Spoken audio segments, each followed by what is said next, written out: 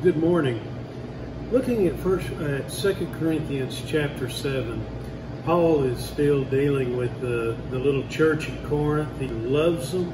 He, he is trying to encourage them.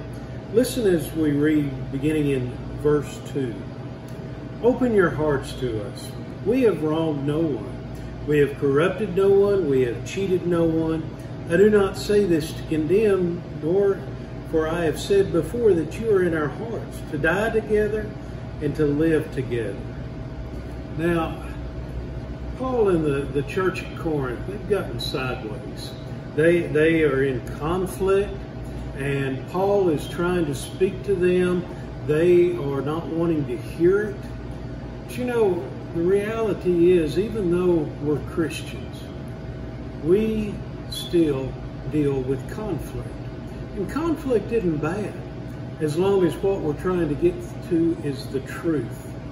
Because you may see something I don't see, and I may see something you don't see. But when we turn it into an I'm right and you're wrong, we've all lost. There's a proper way to do this. We cannot we can disagree on many things, but I want you to understand that God is God Jesus is the only way to God, and through him we can have eternal life. Those are the absolutes. Would you pray with me?